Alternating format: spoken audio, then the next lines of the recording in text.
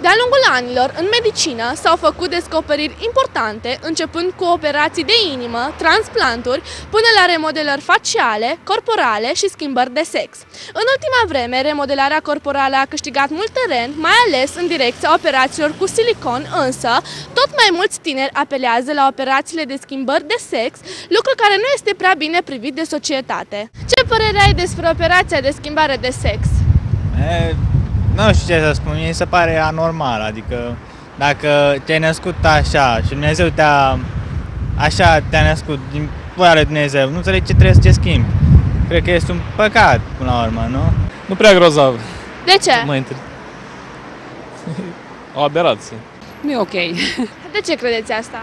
Eu cred în, uh, în ceea ce Dumnezeu ți-a dat, aia să fii. N-am nicio, nicio părere bună. De ce? Pentru că dacă s-a născut uh, băiat, băiat să fie. Dacă s-a născut fată, fată să fie.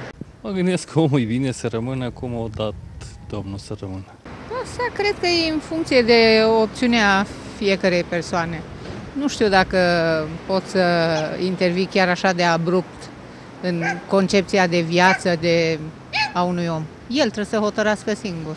Fiecare fac ce vreau. Cred că nu-s bun cu capul sau cam așa. Păi, cred că nu prea este indicată. Dacă Dumnezeu ne-a lăsat așa cum suntem, trebuie să ne păstrăm sexul, să ne păstrăm credința și, de ce nu, naționalitatea. O părere proastă. De ce? Mi se pare o aberație. Nu e bine. De ce credeți asta? Interzice Dumnezeu. Nu sunt de acord cu așa ceva. De ce?